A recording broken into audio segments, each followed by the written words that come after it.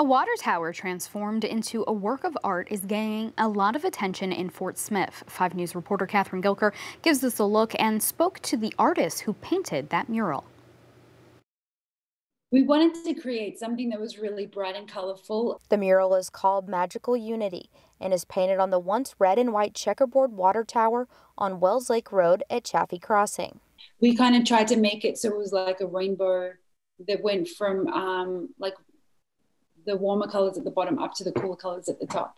The artist who go by Dabsmyla painted the murals as part of OzArt's Our Canvas initiative. Dabsmyla say when they were painting the mural back in October, it was great to have people stop by who were interested in the transformation. I think a lot of people weren't that happy with what it looked like beforehand. I think it had a checkerboard yeah. or something. It might have been painted that way in the 50s. Who knows how long it had been like that. But uh, it seems that people were really happy to see it like transform into something so much more vibrant.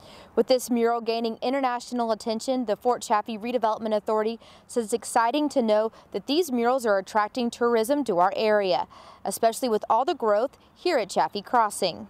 Lori Robertson with the Fort Chaffee Redevelopment Authority says the feedback from the community has been very positive, and this mural is just another quality of life factor. There are about 35 residential neighborhoods all across our development, and there are getting to be more and more commercial opportunities for shopping and dining and services so that the people who live in this area of the city are able to do business closer to home. At Chaffee Crossing, covering news where you live, Catherine Gilker, 5 News.